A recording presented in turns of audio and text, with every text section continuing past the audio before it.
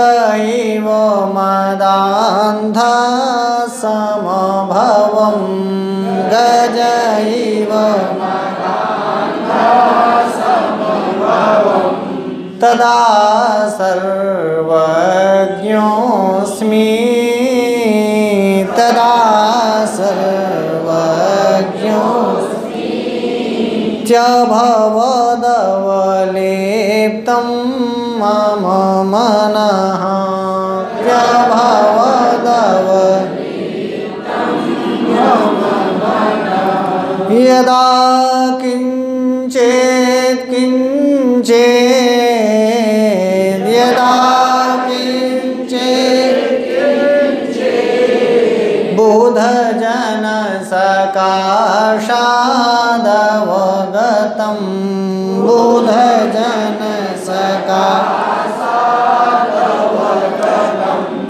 तदा मूर्खोऽस्मीति तदा मूर्खोऽस्मि ज्वर इव मदो मे व्यपगतः।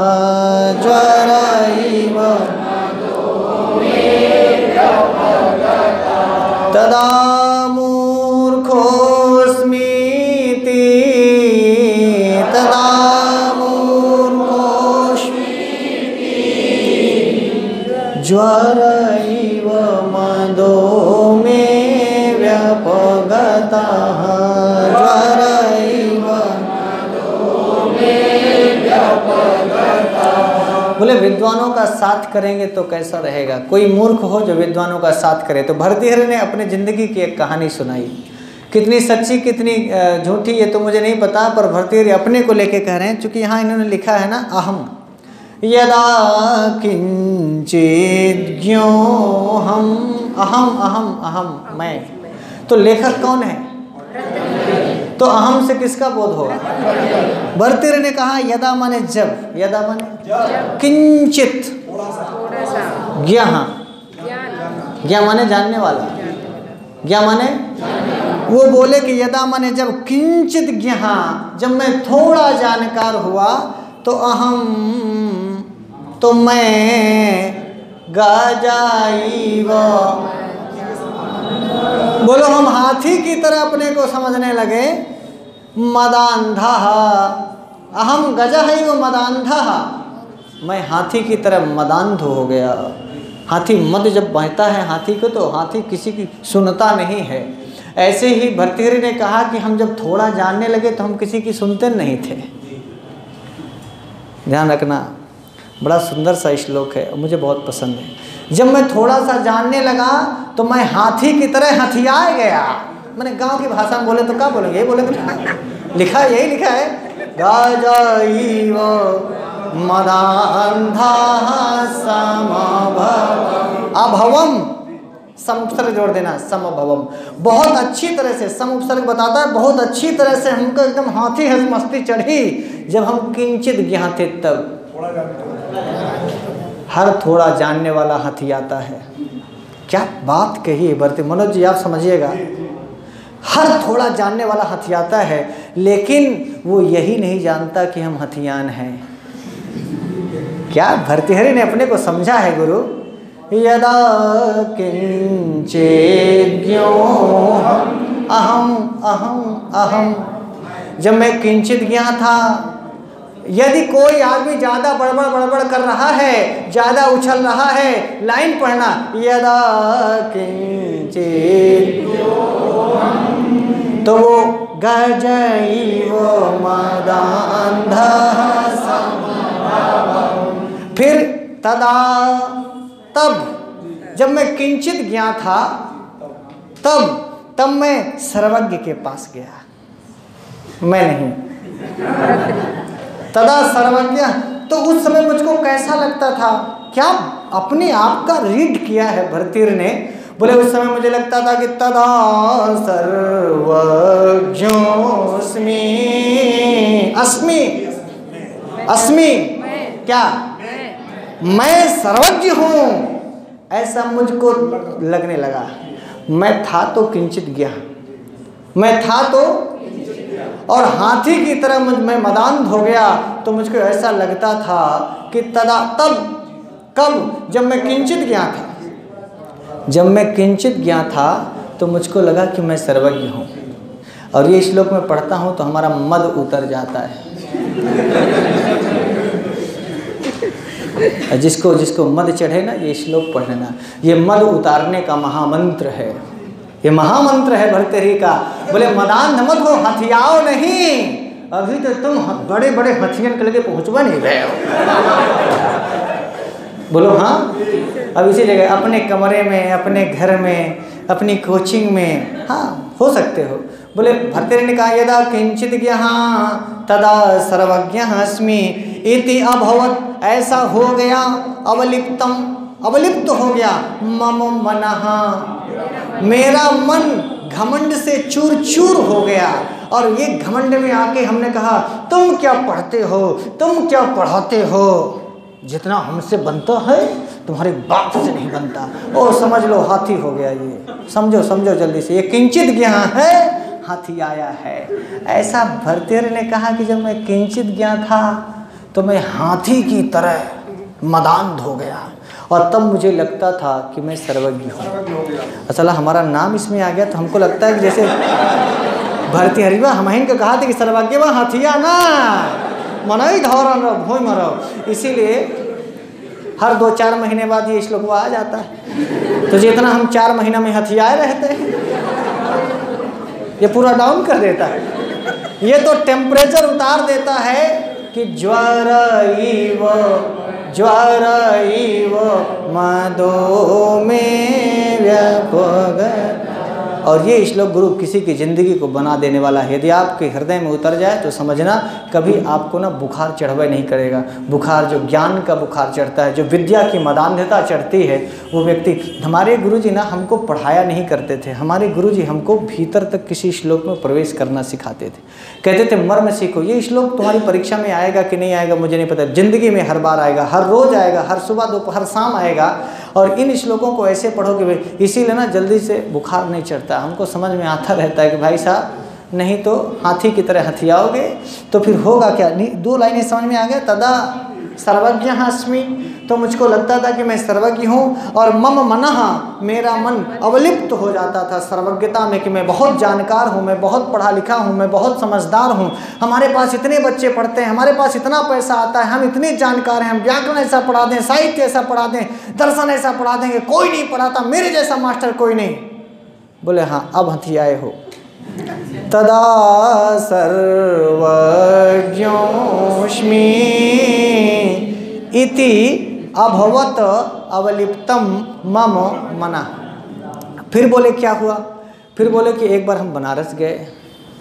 तो बोले, यदा किंचित किंचित यदा किंचित किंचित बोध जन सका साधवगतम। यदा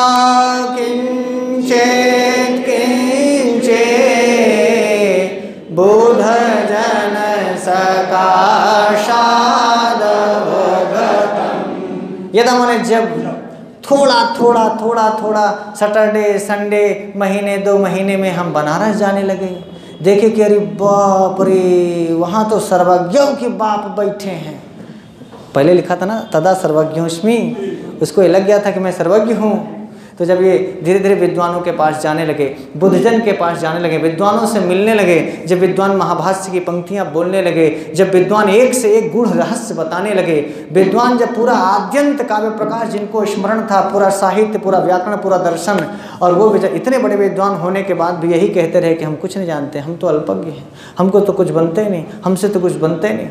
तब इस सर्वज्ञ को लगा यदा किंचित बुध जन बुध जन, बुध बुद्ध जन, जिनके पास बुद्धि थी, ऐसे विद्वानों के पास जो विद्वान लोग थे, उनके सकाशात उनके साथ में रहने से तब अवगतम।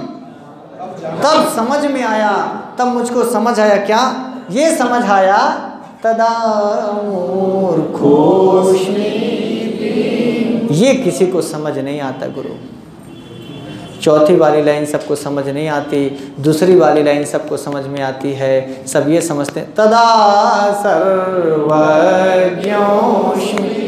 चौथी लाइन, तदा मूर्खोष्मीति। तदा मूर्ख अस्मि इति। मैं मूर्ख हूँ, ऐसा ज्वर है वो जैसे किसी को बुखार चढ़े और पैरासीटामॉल खाए तो जैसे धीरे धीरे धीरे धीरे बुखरवा उतर जाता है। वैसे हमको जो मद चढ़ा था ना, पहली लाइन में, पहली लाइन में मदांधा हुए थे, वो मैं, मेरा व्यपगता। अपगत हो गया, व्यपगत हो गया, समाप्त हो गया, चला गया, उतर गया। जो मद चढ़ा था सर्वज्ञता का, तदा सर्वज्ञ उसमें देखना, दो चीज़, यदा किंचित गया जब मैं थोड़ा जानता था तो अपने को सर्वज्ञ समझता था। जब मैं थोड़ा जहाँ किंचित यहाँ था तो सर्वज्ञ समझता था, और सर्वज्ञ समझता था, इसीलिए गजजीव मदांधा समबम हाथी की तरह मैं मदांध हो गया था।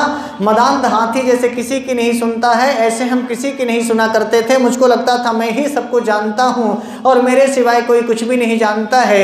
ये किंचित ज्ञा की निशानी है। हर किंचित ज्ञा अपने आप को सर्वज्ञ समझता है, और जब वो सर्वज्ञ समझता है तो हाथी की तरह मदांध हो जाता है। और वो हाथी जब बनारस जैसे जैसे शहरों में बड़े बड़े विद्वानों का दर्शन करता है तो धीरे धीरे उसको समझ आता है कि, अरे, मैं तो बड़ा मूर्ख हूँ। मैं तो बड़ा और गुरु यदि ज़िंदगी में कभी आपको यही समझ आ जाए, ये वाली, चौथी वाली लाइन, कि अरे, बाप रे, अभी तो हमसे भी बहुत बड़े बड़े लोग हैं। अभी तो हमसे भी तैयारी करने वाले बहुत अच्छे लोग हैं। कभी कभी ऐसा लग जाता है कि, अरे, हम तो सब पढ़ लिए, हम तो सब तैयार हो गया। मेरा साहित्य तैयार है, मेरा संधि तैयार है, मेरा समाज तैयार है, इस बार तो हम मास्टर बनी जाएँगे। ये है, वो है। नहीं तदा मूर्खोष्मीति। और इसके बाद हुआ क्या?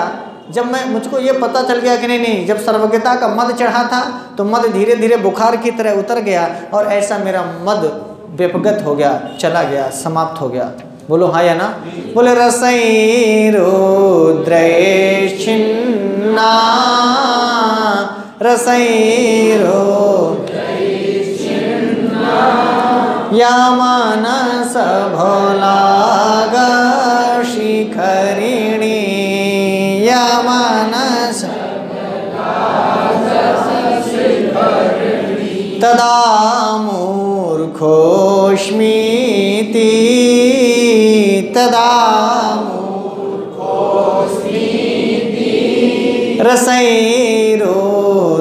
रसैरुद्रैश्चिन्ना रसैरो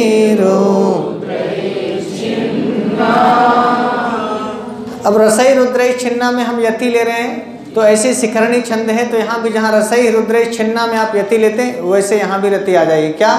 बोले, यदा किंचेत हम रसई रुद्र छिन्ना, रसई रुद्र छिन्ना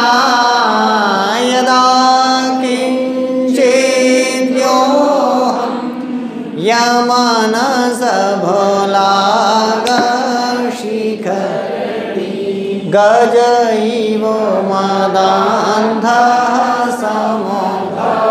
यमनस भोलाग शिखर गज इव मदान्धः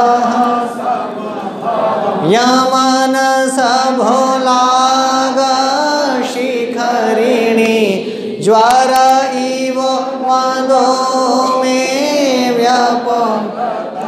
बुध जन सकाशादवगत यमनस भोलाग बुध जन स यमनस बुध जन यमन बुध जन सकाशा यमनस भोला शिखरिणी अवगत कर लेंगे इसको? जैसे जैसे छंद को आप पढ़ेंगे वैसे वैसे श्लोक आप पढ़ते जाएँगे, एकदम छंद पे ही रिपीट होता है।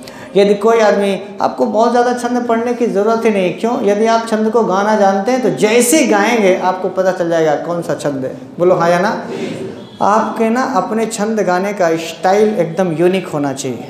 और जैसे ही आप श्लोक आएगा, आप कर लेंगे, ना? बस एक एक लक्षण जाना, बोलो, रसई रोद्र तो कहीं भी एक लाइन भी लिखी होगी तो आप जान जाएँगे ना। अनाघ्रातम पुष्पम रसैरोद्रे तदा सर्वज्ञोऽस्मि। यदा किञ्चेत् किञ्चेत् यदा मूर्खोऽस्मि। कर लेंगे। हाँ यदा किंचित ज्ञ, तदा सर्वज्ञ अस्मि। जब थोड़ा जानता था तो सर्वज्ञता का मदांध चढ़ गया था। किसकी तरह? हाथी की तरह। हाथी की तरह मदान्ध कब हो गया? जब थोड़ा जानता था और उसका मन घमंड में चूर हो गया। क्या सोच करके कि मानो मैं सर्वज्ञ हूँ? बुद्धजन सकाशात। सकाशात माने समीपम, अवगतम माने जाना। बुद्धजन माने विद्वान। जब विद्वानों के समीप गया तो मैं जाना।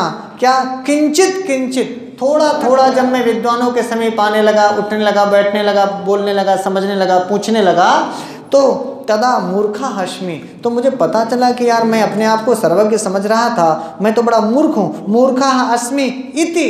इस प्रकार से मुझे जानकारी हुई। धीरे धीरे मुझे जानकारी हुई कि मैं, नहीं तो मैं तो बहुत अभी जानकार नहीं हूँ। इस प्रकार से ज्वर ही वो बुखार की तरह धीरे धीरे मेरा मद चला गया। ठीक हो गया?